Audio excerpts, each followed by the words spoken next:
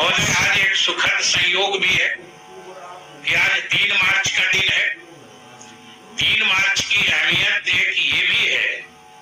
कि तीन मार्च उन्नीस को गांधी जी ने गुजरात में जो उस समय की देसी रियासतें थी,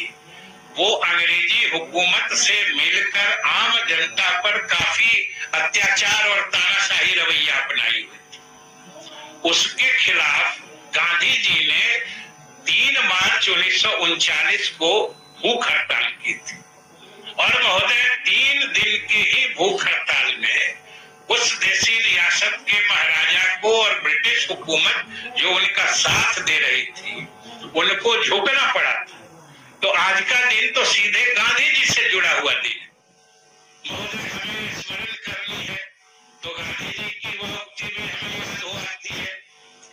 जी कहा था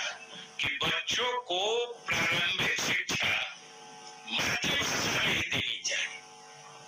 मातृभाषा की जगह दूसरी कोई भाषा नहीं ले सकती और महोदय संयोग से कल ही आज तीन मार्च है कल चार मार्च को जो महान लेखक और बिहार के महान सपूत, श्री फणीश्वर नाथ रेणु जी का भी जन्म दिवस है। और ये कोई सामान्य जन्म दिवस नहीं, उनका शताब्दी जन्म दिवस शताब्दी जयंती है,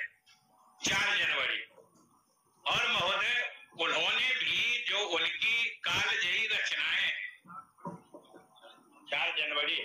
चार मार्च, वही महोदय, कल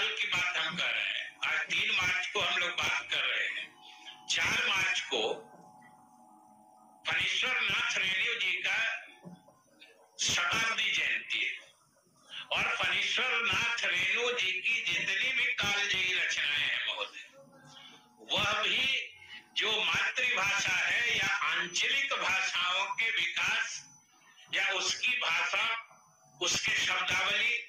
उसके मुहावरे, उसकी लोकोक्ति, उन सबको शामिल करते हुए उनकी जो रचनाएँ हैं आज भी सब लोगों को प्रभावित करती है। महोदय, इसीलिए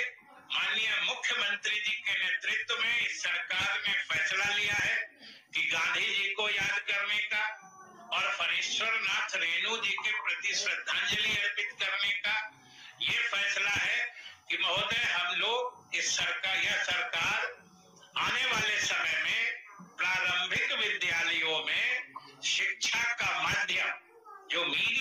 इंस्ट्रक्शन करते हैं, वो हम लोग जो क्षेत्रीय भाषाएँ हैं, चाहे भोजपुरी है, मगही है, मैथिली है, जो भी है, प्रारंभिक शिक्षा हम लोग उसकी भाषा, उस जो स्थानीय भाषा है, हम उसके माध्यम से कराएँगे यह सरकार ने महोदय फैसला लिया है कि हम गांधी जी से लेके उनको इसी तरीके से श्रद्धांजलि अर्पित करना चाहते बच्चों में जो उनमें कंसेप्चुअलाइजेशन का जो फ़ेज़ होता है, जो उनके मातृभाषा में उनको समझाया जाएगा, वो दूसरी भाषा में नहीं समझ सकते। इसलिए उनको सहज रूप से सभी चीज़ का ज्ञान उनके अंदर स्थापित करने के लिए महोदय सरकार ने गांधी जी के आदर्शों को और रेणु जी के, की जो दिशा थी, लिखने पढ़ने की उसको सम्मानित प्रतिष्ठित करने के लिए हम लोग अब प्रारंभिक विद्यालयों में शिक्षा का माध्यम, यानी मीडियम ऑफ़ इंस्ट्रक्शन जो स्थानीय भाषा है, मैथिली है, भोजपुरी है, या मगी है, उसी भाषा को हम लोग महोदय अपनाएँ।